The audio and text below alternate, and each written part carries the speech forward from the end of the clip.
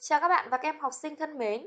Nội dung bài giảng ngày hôm nay, chúng ta sẽ tìm hiểu về bài số 19, lớp đất, các nhân tố hình thành đất, một số nhóm đất điển hình. Trước khi vào bài mới, để có thêm nhiều bài giảng tham khảo đồng thời nhanh chóng tiếp cận với những bài giảng mới, thì các bạn hãy đánh từ khóa chương trình mới trung học cơ sở, trung học phổ thông lên thanh tìm kiếm của trang YouTube và nhấn nút tìm kiếm. Tại đây thì chúng ta hãy nhấn nút đăng ký ở góc bên phải phía dưới màn hình trên kênh sẽ có rất nhiều các bài giảng của các môn văn hóa cơ bản khác nhau để cho chúng ta có thể tham khảo. Sau đây chúng ta quay trở lại nội dung chính của bài. Để thuận tiện cho việc theo dõi bài giảng, các bạn hãy mở sách giáo khoa trang 178 của bộ sách Chân trời sáng tạo. Đồng thời nên chuẩn bị vở để ghi chép lại nội dung của bài học hôm nay nhé.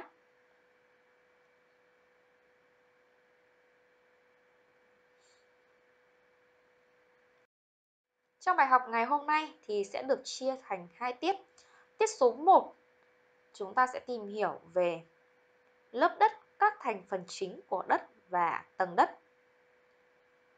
Tiết số 2 chúng ta tìm hiểu về các nhân tố hình thành đất, một số nhóm đất điển hình trên thế giới và trả lời các câu hỏi của phần luyện tập và vận dụng. Đầu tiên chúng ta sẽ đi tìm hiểu về lớp đất, các thành phần chính. Đầu tiên chúng ta sẽ đi tìm hiểu về lớp đất, các thành phần chính của đất và tầng đất. Một là lớp đất. Vậy theo các bạn thì lớp đất sẽ được định nghĩa như thế nào? À, lớp đất thì được định nghĩa nó là một cái lớp vật chất mỏng, tơi xốp bao phủ trên bề mặt của các lục địa, đảo và được đặc trưng bởi độ phì. Còn độ phì thì lại là khả năng cung cấp nước, nhiệt, khí và các chất dinh dưỡng giúp cho thực vật sinh trưởng và phát triển.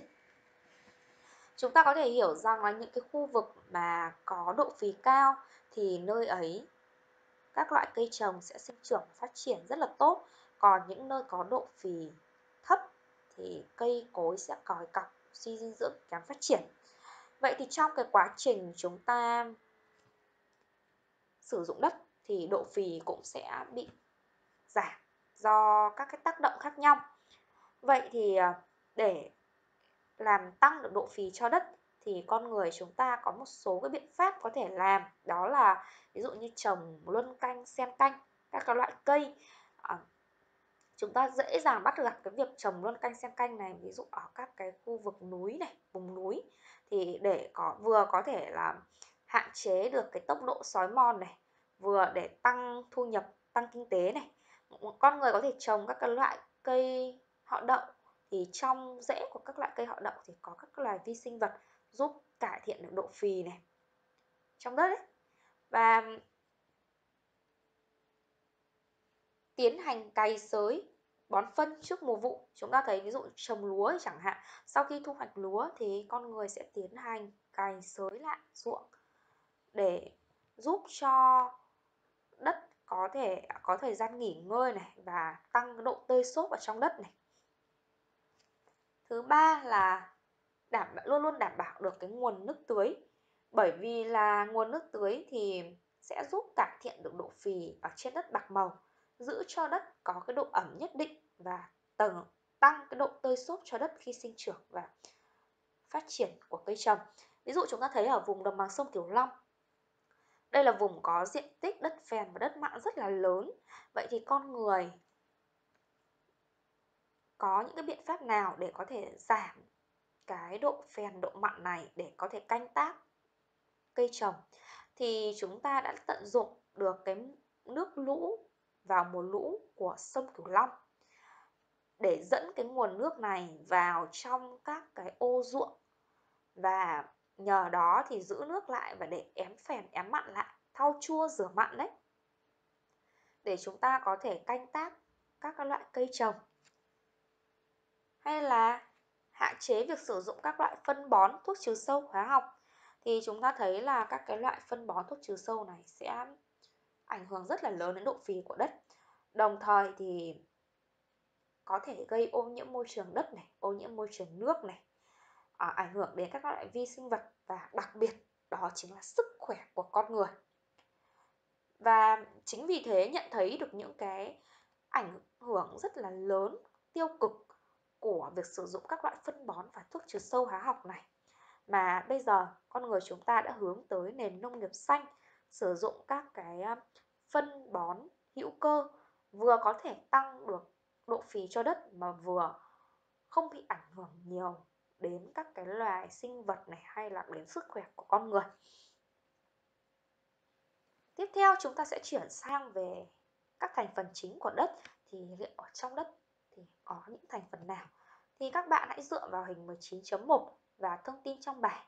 Hãy cho cô biết các thành phần chính của đất và thành phần nào thì chiếm tỷ lệ lớn nhất, thành phần nào quan trọng nhất. À, chúng ta có thể dựa vào cái biểu đồ này thì chúng ta thấy được là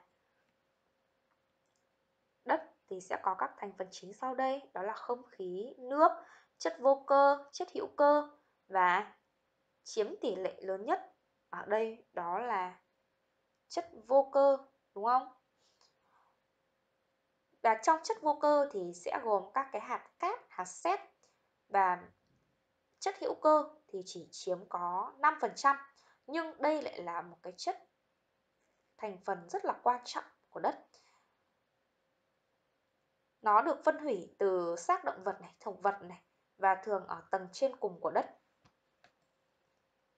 Từ đó thì các bạn có thể ghi cái phần kết luận này vào trong vở cho cô để lấy làm tài liệu tham khảo.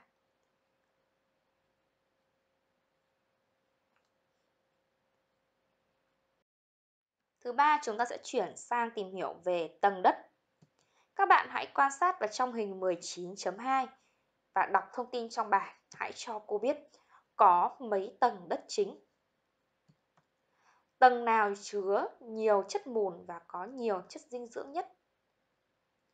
À, chúng ta có thể thấy được là chúng ta kể tên từ bắt đầu từ nơi tiếp xúc gần với chúng ta nhất đó là tầng hữu cơ này, sau đó đến tầng đất mặt này, tầng tích tụ và tầng đá mẹ.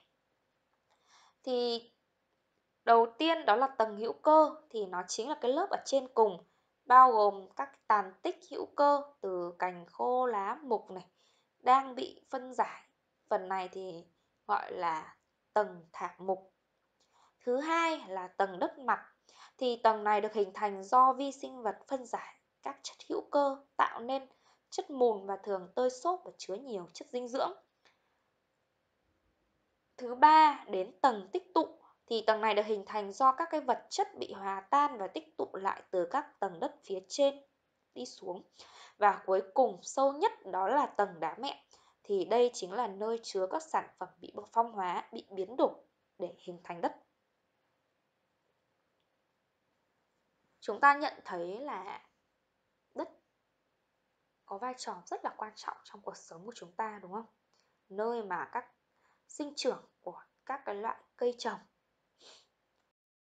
Tuy nhiên thì vấn đề ô nhiễm đất ở trên thế giới thì ngày càng diễn ra trầm trọng và đất suy thoái thì do biến đổi khí hậu này, rửa trôi, sói mòn, bạc màu.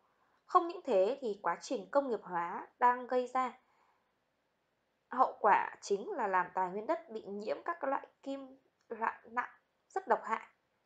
Tại Brazil, chúng ta có thể thấy khi mà bị vỡ đập gây ra hậu quả là hơn 60 triệu mét khối bùn đất chứa các chất thải độc hại từ sau quá trình. Khi khai thác quặng sắt bị tràn ra ngoài và nhấn chìm cả một ngôi làng. Hay là ở Nhật Bản thì hàng trăm km vuông đất nông lâm nghiệp và làng mạc bị bỏ hoang do ảnh hưởng từ phóng xạ bởi ba cái lò phản ứng nguyên tử của nhà máy Fukushima. Cái nhà máy này bị phá hủy khi mà có trận sóng thần năm 2011 đi qua. Hay là tại Trung Quốc thì nhiều năm công nghiệp hóa tràn lan đã khiến cho 20% diện tích đất nông nghiệp bị ô nhiễm.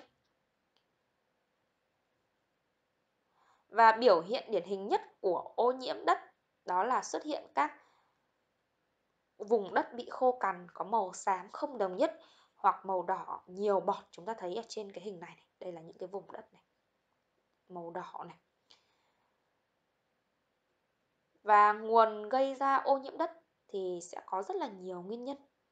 Chúng ta có thể thấy được về tự nhiên ví dụ như đất bị nhiễm phèn nhiễm mặn là do nguồn nước từ một cái khu vực khác di chuyển đến hoặc là nhiễm mặn là từ nước biển ảnh hưởng vào sâu bên trong cái lượng muối có trong nước biển hay là từ các cái mỏ muối và quá trình của lây hóa trong đất sinh ra các cái độc tố, nhưng mà cũng do ảnh hưởng của con người. Đó là chất thải từ công nghiệp này, việc khai thác mỏ này, sản xuất nhựa dẻo ni lông này, hay chất thải từ nông nghiệp như cô đã nói là các cái loại phân bón, vô cơ này, thuốc trừ sâu này. Và nguyên nhân gây ô nhiễm đất còn do từ các cái chất thải sinh hoạt như là cho than này, đồ ăn, rác thải. Và khi đất bị thoái hóa thì sẽ bị xuống cấp trầm trọng và ảnh hưởng xấu đến nguồn nước ngầm và tác động xấu đến sản xuất của nông nghiệp. Ví dụ một cái tác hại rất là lớn của ô nhiễm đất ảnh hưởng đến sản xuất nông nghiệp đó là khiến cho mùa màng của chúng ta bị thất bát này. Cây trồng thì chiếu chất dinh dưỡng nên chậm phát triển này. Chất lượng nông sản thì giảm sút nghiêm trọng và gây ra những cái ảnh hưởng về sức khỏe của con người và sự phát triển của hệ sinh thái. Bởi các cái chất gây ô nhiễm này sẽ làm thay đổi quá trình chuyển hóa thực vật, giảm năng suất của cây trồng và làm mất cân bằng sinh thái, đe dọa đến sự sống còn của hệ sinh vật và loài người. Vậy thì các bạn hãy tìm hiểu và nêu cho cô các biện pháp khắc phục môi trường đất bằng cách viết câu trả lời của mình xuống dưới phần bình luận của video này. Như vậy, bài học ngày hôm nay kết thúc tại đây. Cảm ơn các bạn đã chú ý, quan tâm và theo dõi.